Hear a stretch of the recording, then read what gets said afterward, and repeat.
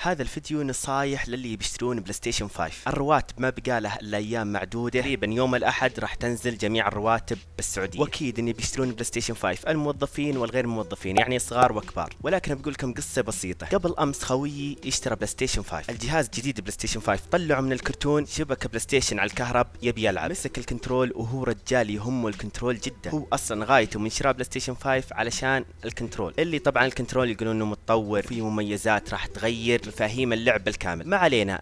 يوم مسك ال control لاحظ بال control على طول رفع الجوال ودق عليه. شلونك يا بيبسي؟ عساك مرتاح؟ أبد والله الله يعافيك. جاء قال لي يا بيبسي أنا رجال شريت بلاي ستيشن وغايتي ويهمن ال control جدا. ولكن اللي ضيق صدري يا بيبسي إنهم معطيني ال control تجاري. قلت أفا والمشكلة يقول إنه مشتري يعني من شركة موثوقة. يعني ما هو من محل عادي لا من محلات موثوقة. طبعا سألته وقلت له وش الشيء اللي خلاك تتأكد إن ال control تجاري؟ قال لي يا بيبسي إن ال control مطبوعة ماركة سوني أو شركة سوني بشكل غير منتظم يعني ما هي مطبوعة بالنص بشكل مايل وكأنه يعني اليد ما هي أصلية. وهو اللي أثار شكوكه أن دائما الأجهزة الدفعة الأولى دائما يكون به أخطاء ومشاكل فهذا اللي أثار شكوكه. وحتى بالجوالات دائما الدفعة الأولى الأجهزة يكون بأخطاء ومشاكل. طبعا أنا على طول رحت بحثت ولاحظت إن هذا شبه خطأ مصنعي من شركة سوني. إن كل اليدين مطبوعة شركة سوني أو ماركة سوني بشكل مايل ما هي مطبوعة بشكل صحيح. فهذه أول نصيحة لك إذا إنك ناوي تشتري بلاي ستيشن 5 لا تخاف ترى اليد أصلية لكن شركة سوني ما هم مطبعينها بشكل صحيح. يعني لا تشك إنهم معطينك يد تجارية وتخاف وتوسوس. لا ما عليك. واصلا أتوقع إلى حد الآن ما انصنعن يدين تجارية لبلاي ستيشن 5 وبس هذه كانت أول نصيحة بهذا الفيديو. خلوكم مع باقي النصايح بهذا الفيديو.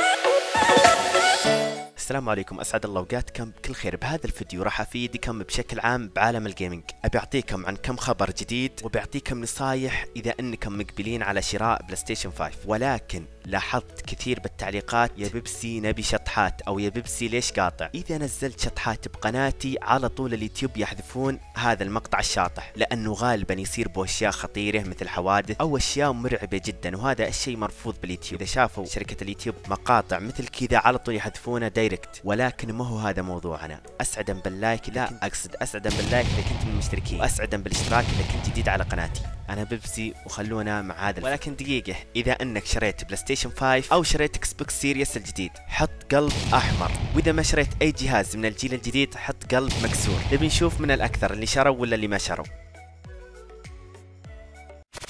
ثانيا وهذا أخطر شيء. أبيك تأخذ قاعدة. الجاهل عدو نفسه دائما ما هم قليل اللي انخدعوا وشروا بلاي ستيشن 5 بسعر 3000 ريال بالسعودي. في بعضهم شرى الجهاز حتى ب 4000 وفي بعضهم كل ما نزل جهاز انخدع. لازم تعرف كم سعر الجهاز الأصلي. الشركة نفسها تحدد السعر اللي صانعه الجهاز. حتى بالجوالات أيضا مو بس ببلاي ستيشنات كل الأجهزة بشكل عام. ولكن نرجع لموضوعنا حق سوني 5 سوني 5 وما يدرون إنه نازل من نفس الشركة بهذه الأسعار اللي قدامك الآن لأنه يجي نوعين نوع بسيديات بمدخل سيديات ونوع بدون مدخل سيديات. هذا السعر بلاي ستيشن 5 ما يختلف عليه اثنين نفس الشركة نازل زي كذا. ولكن في بعض المحلات أو في بعض التجار البائعين يبي يستفيد. يروح يخلي الجهاز قيمته double عشان يستفيد يبيع جهاز واحد كأنه بايع جهازين. وصلوه لدرجة إلى 4000 ريال. وفي ناس تشتري للأسف. يعني تلقى ولد صغير يلح على أبوه يبي بلاي ستيشن 5 يروحون للمحل يبي يشترون ما يدرون إيش السالفة. يقول لهم البائع إنه جهاز جديد. قبل ثلاث أيام نازل وسعره 4000 ويشترونه. ولكن النصيحة لك إن هذه الأسعار بريال السعودي لا يتعدى هذه الأسعار بلاي ستيشن 5 إذا زاد 100 بالكثير تمام عادي اشتروا ممكن ضرائب وزي كذا. ولكن إذا زاد فوق المية على الأسعار هذه لا تشتري الجهاز. هذا الكلام لصغار وكبار وتذكروا إن الجاهل عدو نفسه. ننتقل للي بعده. ثالثا وهذا أهم خبر بالنسبة لك إذا كنت مستعجل على شراء بلاي ستيشن 5 هذا كلام المدير التنفيذي مو كلامي المدير التنفيذي لبلاي ستيشن 5 يقول لك إن بلاي ستيشن 5 يبي له سنين على ما يكون جاهز للعب مثل بلاي ستيشن 4 هو صادق بلاي ستيشن 4 أول ما نزل ما كان جاهز للعب أول سنتين تقريبا أو أول ثلاث سنوات. متى صار بلاي ستيشن 4 جاهز للعب؟ بعام 2017 كذلك المدير التنفيذي يلمح لك إن بلاي ستيشن 5 مو جاهز للعب الآن.